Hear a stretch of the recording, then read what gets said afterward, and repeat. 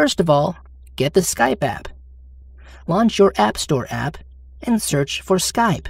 Soon, the search result for the free Skype app will pop up. Tap Free and tap Install to initiate the download. When the app download is over, tap the icon of Skype to launch it. Now you have three options. Sign into Skype with your Skype credentials, sign in with your Microsoft account, or create a new Skype account. We'll choose to create a new Skype account. After you've read the terms of Skype use, tap I agree to proceed, if that is the case, of course. Now you will be asked to fill in your account details to create a new account. You'll probably want to start with tapping to add a profile picture.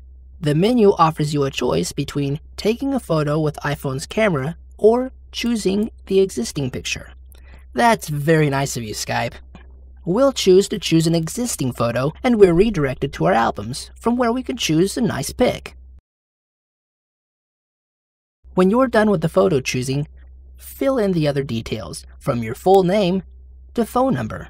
Last step, choose if you want to get last Skype offers or not, and tap Create Account. Welcome to the world of Skype. Take time to get familiar with short information from Skype developers. Tap Done when you're done. Now, to test your Skype sound, tap the option of making a free call.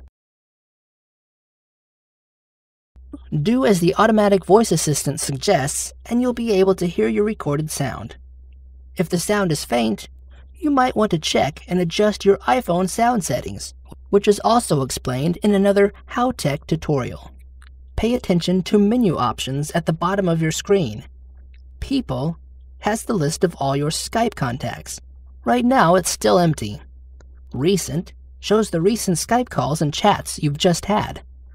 Call phones allows you to call landline phones if you have additionally purchased credit. And Profile has all your profile information and your Skype account settings.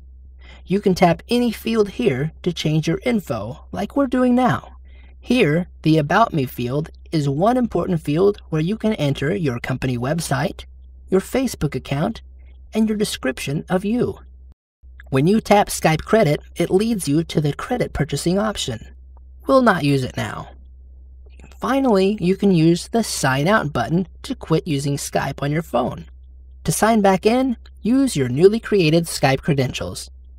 Okay, we're back. Let's now explore the People menu of Skype. When you tap Lists, you'll be shown different contact lists of yours, including, for instance, blocked folks and those who are online. To add a new contact, you can tap, for instance, Skype Contacts, and then tap the little plus icon in the upper right corner. There are several ways to search for your contact as you see. We'll choose Search Skype Directory since we remember well the Skype ID of our friend. Now we type in his Skype ID, he pops up in the search results. Tap the name of the contact and send your friend a contact request. Done! Now we can press the IM button to start chatting with him. Type in your message and tap send. Let's see what he says.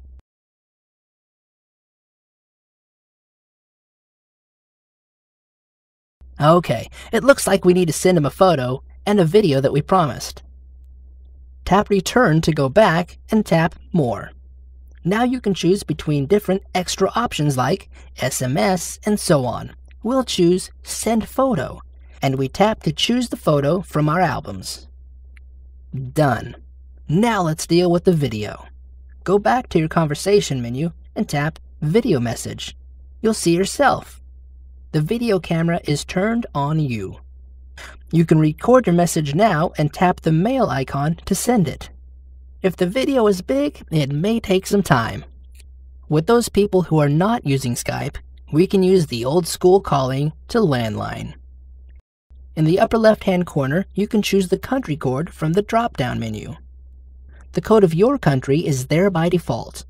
You can either dial the number now, or tap the little phone book icon from the right upper corner to choose the number from your iPhone's contact list.